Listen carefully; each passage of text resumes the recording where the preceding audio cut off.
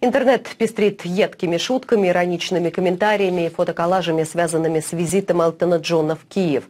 Я напомню, что британский певец, композитор и пианист нетрадиционной сексуальной ориентации призвал Украину присоединиться к гей-сообществу. Мало того, обещал помочь ей построить современное европейское государство. Что думают о данной перспективе сами украинцы, мы узнаем у нашего специального корреспондента Екатерины Мироновой. Она сейчас выходит на прямую связь из Киева. Катерина, здравствуйте. Как отреагировали на слова Элтона Джона жители страны и что говорят бизнесмены, которым он рекомендовал оказывать содействие при приеме представителей ЛГБТ-сообщества на работу? Здравствуйте, Екатерина. Украина остается страной с традиционными взглядами на семейные ценности. Большинству жителей государства очень тяжело понять однополые отношения, но действительно на минувших выходных в Киеве побывал известный певец, музыкант и борец за права ЛГБТ-сообщества Элтон Джон. Он выступил со сцены, пожалуйста, пожалуй, самого главного украинского политического форума «Ялтинская европейская стратегия». Также его принял глава государства Петр Порошенко. Сэр Элтон Джон много рассказывал о толерантности, о том, как важно, чтобы Украина присоединилась к ЛГБТ-сообществу, о том, что нужно соблюдать права геев и лесбиянок. Но, по мнению экспертов, все это выглядело очень двулично, учитывая, что на Донбассе много месяцев люди были вынуждены прятаться от бомбежек э, в своих подвалах.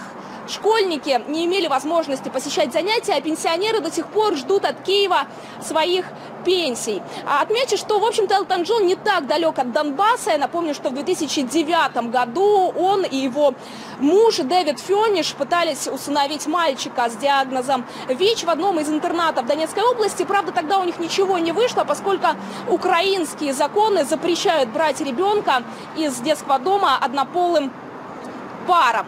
Но в любом случае, казалось бы, а, проблема прав донецких детей так просилась в повестку дня, но об этом никто не говорил. Права лесбиянок и геев были а, во всяком случае, на форуме «Ялтинская европейская стратегия» куда важнее. К слову сказать, что представители, представителям секс-меньшинств живется здесь, на Украине, куда проще, чем жителям Юго-Востока.